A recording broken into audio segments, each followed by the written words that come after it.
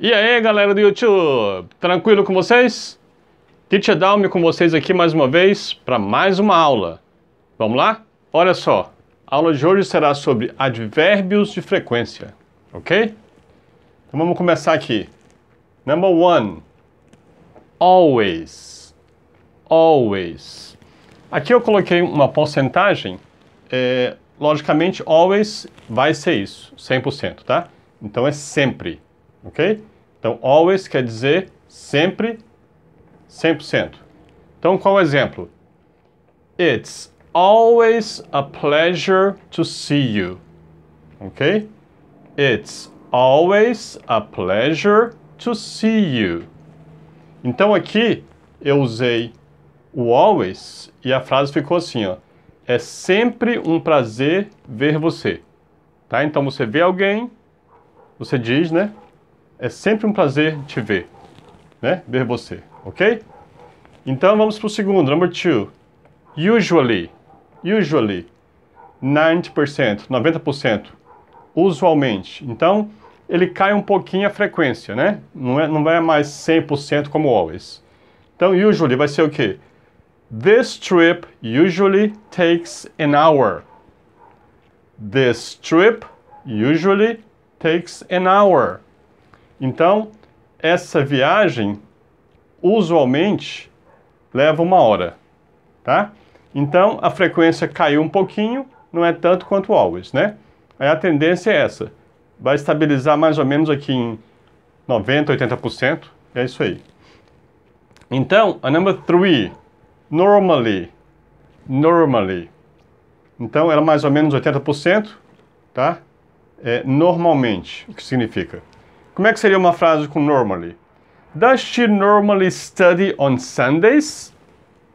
Does she normally study on Sundays? Então quer dizer o quê? Ela normalmente estuda nos domingos? Ela normalmente estuda aos domingos? Ok? Então, esse normally está é, tá caindo um pouquinho né, a frequência e aqui geralmente vai estabilizar até esse último aqui, tá? Mais ou menos nessa frequência aqui, ok? Number four, often. Often quer dizer frequentemente. Então, isso aqui não é exatamente 80, pode ser um pouquinho mais, pode ser um pouquinho menos, mas só para ter uma ideia do que é often, tá? Frequentemente. Então, qual seria a ideia? Olha a frase. I often go to the theater. I often go to the theater. Então aqui você está dizendo o quê? Que frequentemente você vai ao teatro ou cinema, né? Então, você frequentemente, eu frequentemente vou ao teatro ou cinema, ok? E aqui, number five, frequently, que significa a mesma coisa, é só um outro advérbio, que também fica em torno de 80%, tá? Frequentemente. Qual seria a, a frase? I frequently go to school. I frequently go to school. Então, eu frequentemente vou à escola, ok? Eu frequentemente vou à escola, ok? Vamos continuar? Ok, galera, então, continuando, vamos lá. Number six. Sometimes. Sometimes, então, fica em torno de 50%, tá? Que quer dizer às vezes, alright? Então, qual seria o exemplo? I sometimes play table tennis. I sometimes play table tennis. Então, isso quer dizer que às vezes, eu às vezes jogo tênis de mesa ou ping-pong, ok? Então, vamos para number seven occasionally, occasionally, em torno de 30%, quer dizer ocasionalmente. A ação vai só diminuindo, tá? A frequência do advérbio vai só diminuindo, tá? Então aqui já está 30%. She occasionally prepares dinner. She occasionally prepares dinner. Ou seja, ela ocasionalmente faz janta ou prepara o jantar. Tanto faz, tá? Então, ela ocasionalmente faz janta. Então, é uma coisa assim, 30% de chance de acontecer. Então é uma coisa mais ou menos rara, né? E aí vai caindo.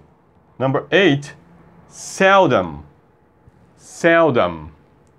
Seldom é mais ou menos 10%, então é uma coisa rara de acontecer. Então, raramente, tá?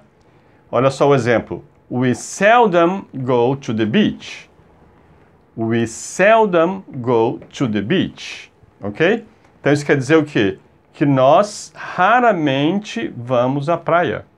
Tá? Nós raramente vamos à praia. Ok? Caindo mais ainda, o hardly ever e o rarely, eles são todos muito parecidos, tá? É tudo nessa, nessa base de raramente. Então, é só uma forma diferente de dizer. Hardly ever é mais ou menos a, o mesmo, a mesma frequência, e o rarely também, tá? Então, como seria a frase? They hardly ever go to concerts. They hardly ever go to concerts. Então quer dizer o quê? Que eles, esse hardly ever quer dizer raramente, né? Então eles raramente vão a shows, tá? Eles raramente vão a shows, ok? E o último, number 10, que é never, aí sim, a frequência caiu para zero, né? Então, você tem lá em cima 100% always e lá embaixo, que é nunca, que é 0% de frequência, tá? Então, o never, 0%, é nunca, né? Então, qual seria o exemplo? It's never late to start eating healthy.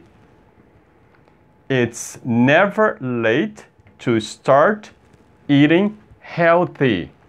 Tá?